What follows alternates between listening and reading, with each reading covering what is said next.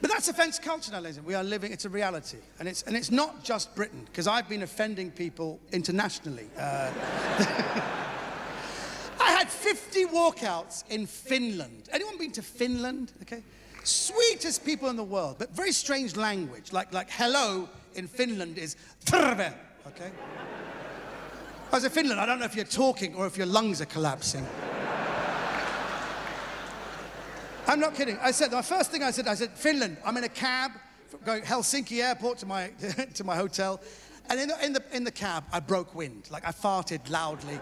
And the taxi driver said, Where did you learn to speak Finnish? 50 walkouts.